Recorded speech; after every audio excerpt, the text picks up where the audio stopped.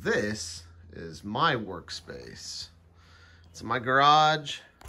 It's on a tool cabinet. And yes, I stand right here and I work. Everything is filmed on my iPhone 12. I got this uh, light here with little camera mount and everything comes down. Uh, here's my microphone that I use. I love this thing, a little lapel mic. Uh, I, I think it really helps.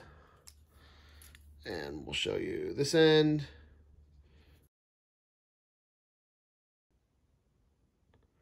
So that's a regular headphone jack. And then I bought one of these that converts it to a lightning port. And that just plugs into my phone. And the lapel mic right there just goes in my lapel. Have all my glues here, some paints that I use all the time. My bench is a mess because I'm just trying to finish stuff up. So I got all that there. Open my drawer. I got some other little tools that I use all the time, along with all my other tools that I use. Let's see if I have anything in here.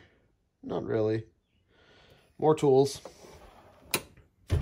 And then, of course, I have all my boxes, all my projects. I picked up one of these not too long ago at Hobby Lobby, and it is fantastic. This is a photo storage case. But inside, open this thing up, one-handed. Inside it has all these little containers, and I have different stuff in each one. It's perfect. I have a lot of resin parts. I have a lot of uh, uh, accessories in here. I think that's a snowplow. But that's great. Keep that there. And that just sits right there. Uh, here's my purple power. What else do I have over here? I have a mess of stuff. Lacquer thinner and paint thinner. The simple green, I use that after my parts go into the purple power over there. And I wash them real good. Take you over to my paint booth right here. Just a cardboard box. And of course I have my respirator. But uh, as you can see, my garage door is open. Usually keep that open. And then I have a door over here and I keep that open as well.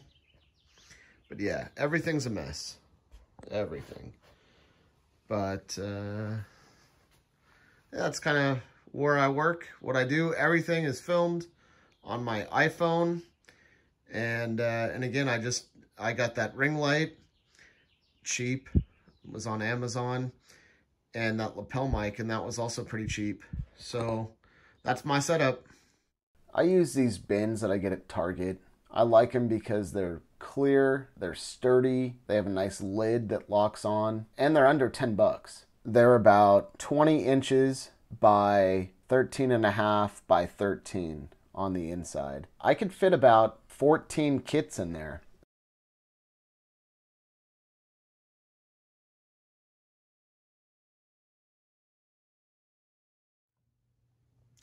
All right, and this is the other part of my workspace. As you can see, desk, uh, just got a little bit of room right there. And then I have this one drawer down here, about six inches high by about two feet deep. Just got some miscellaneous styrene, a couple of paints in there, some sandpaper, another small miscellaneous junk. Not much. My computer processing station. Yep. It's my wife's, but she does let me borrow it every once in a while. All right, and from there, So, oh, that's all my wife's stuff.